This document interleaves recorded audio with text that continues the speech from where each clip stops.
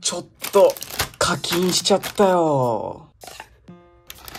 いやー、これからね、管理釣り場、缶釣りっちゅうのをね、始めてみたいなと思って、缶釣りの道具をね、ちょっとね、美課金してきました。まずね、シマノのね、カーディフこの。ロールスイマーね、0.9g。なんかね、こんなちっちゃくてこういう色のやつなんか全く釣れる気せんけど、まあ、なんか店員が買っちょけ中堅。一応買っておきましたと。で、これもね、シマノのカーディフ。これ 1.5g。銀色ね、結構効くって聞いたんでね、銀色買ってみました。これもね、シマノのカーディフ。これ 2.5g。今度は赤金ですね。これもね、これはなんか釣れそうな気がする。これもシマノのカーディフですね。1.8g。これも金釣れそう。これもシマノのカーディフ。これ 2.5g。これも銀ですね。銀、銀青ですね。うん。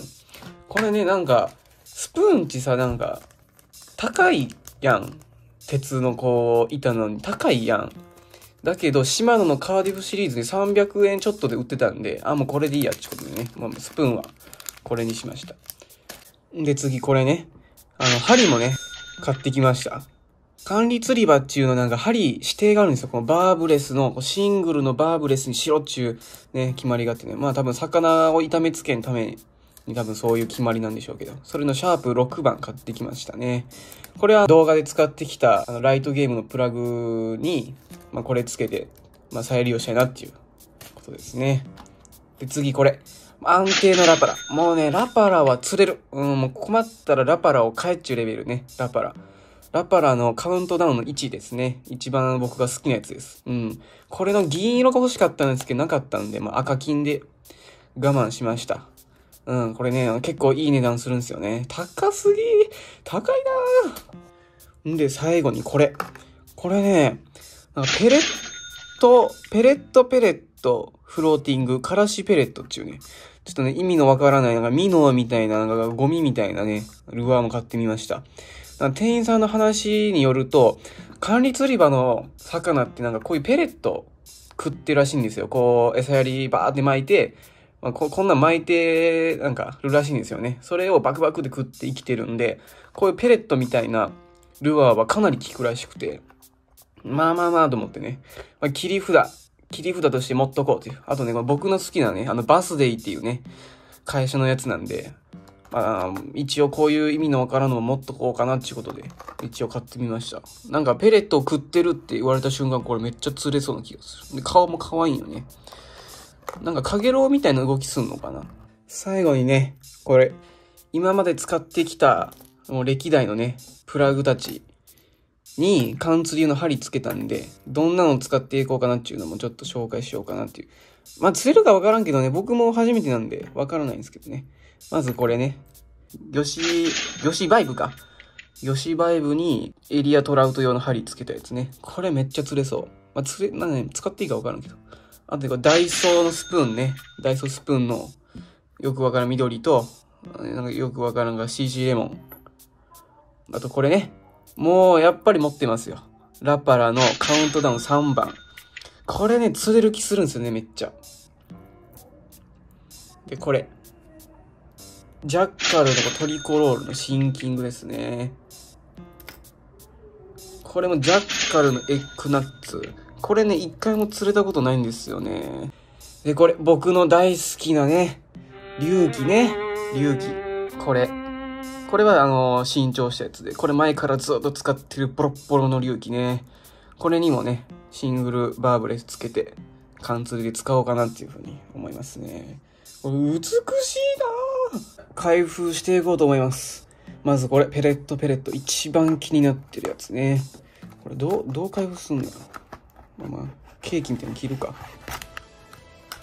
まあなんかフローティングの実の感じですね。めっちゃ軽い。ほんとなんかゴミみたい。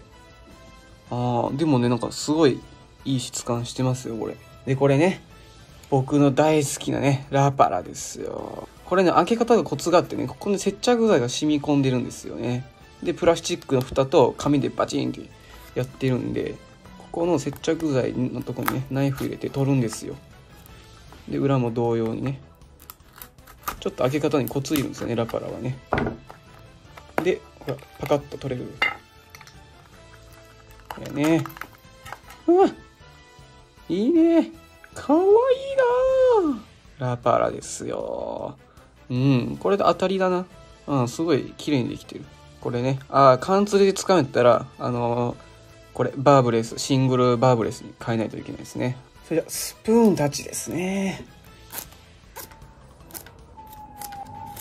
このね、黄色のスプーンね、まず。これ初めてなんですよね。もう本当にこう、スプーンちゃんとしたの買うのね。今までスプーンで100均のしか僕使ったことないんで、はい。おおめっちゃ薄い。ちょっと100均のと比べてみましょうか。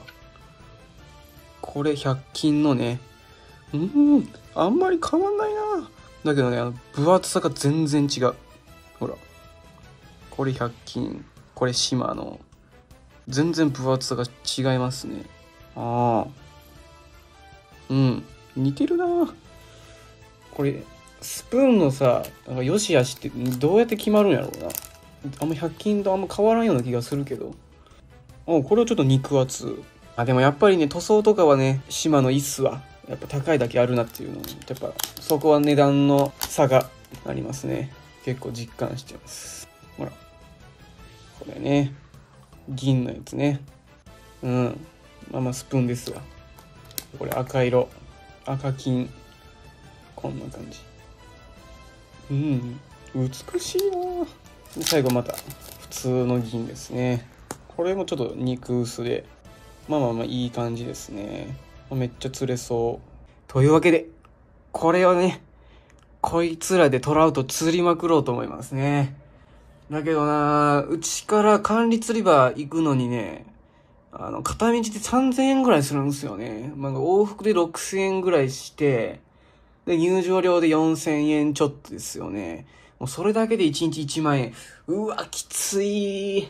結構きついんすよ。金かかるんすよ、管理釣り場って。なんか変なとこにあるし。本当にね、もう厳しいから、YouTube とか色々頑張って、まあ、その収益で入場料とか賄えたらいいなっていうふうに思ってます。というわけで、チャンネル登録、高評価よろしく